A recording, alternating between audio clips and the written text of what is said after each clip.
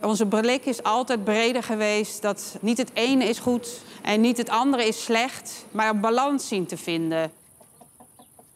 Ons kringloopbedrijf is niet per se biologisch en ook niet gangbaar. Ik zeg altijd een beetje van alles en het beste daarvan.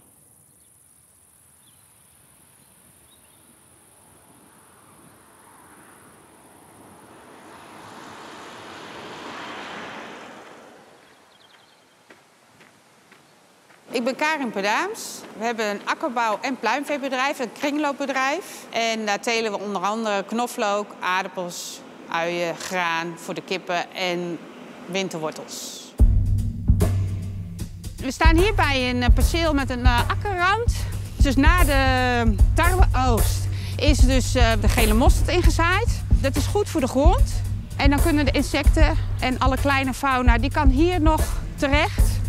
Totdat het natuurlijk de vorst ingaat en dan zakt het ook wat in. Maar ook dan is het een schuilplaats voor alle sluipwespen, bladluizen, uh, bijtjes, uh, nou, noem alle insecten, torretjes, kevertjes, wormpjes. Iedereen kan zich uh, dus hier goed vestigen in plaats van het geploegde, kale land wat we anders eigenlijk zien. En wat wij voorheen ook deden, tot tien jaar geleden ploegden wij ook alles. Op ons bedrijf staat de bodem centraal. Als het met de bodem goed gaat, dan gaat het met alles goed. De gele mosterd heb je net gezien. Die wordt in de grond gebracht als voeding voor de bodem, voor de knoflook, voor aardappels, voor wortels, uien en ook uiteraard voor het graan. En het graan gaat weer naar de kippen. Dat is goed graan. Die krijg je goede mest. En die goede mest die gaat weer terug naar de bodem. En die voedt de gewassen weer. En dan is de kringloop rond. Nou, dit is natuurlijk het belangrijkste gereedschap van een boer. Dat is de schop. Want daarmee gaan we kijken hoe staat het ervoor. Welke aanpassingen kunnen we in ons bouwplan doen. Dus dat is in de rotatie. Kijk, hier worden we dus al heel blij van. Zie je die wortels door die grond heen gaan?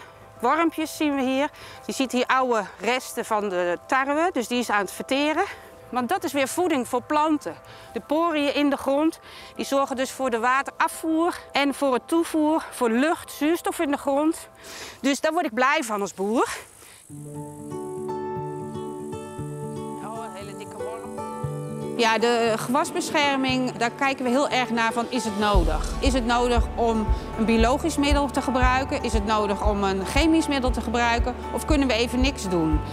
Voor een biologische boer is dat heel lastig, omdat ze daar veel last hebben van onkruid. En wij kunnen door een klein beetje chemie die onkruid onderdrukken, maar daardoor hoeven wij niet te ploegen. En dat geeft zoveel waarde voor het bodemleven. Dat zou zo jammer zijn als ik door biologisch te worden dus weer moet gaan ploegen, dat ik die keuze gewoon niet kan maken voor mezelf. Niet alles is te repareren. Je moet ook wel eens een keer ingrijpen, maar wel zo min mogelijk. Het mooiste is met en de natuur voor je laten werken. Als dat dan ieder jaar weer lukt, soms wat groter, soms wat kleiner en uiteraard is het natuur. Maar het smaakt altijd goed.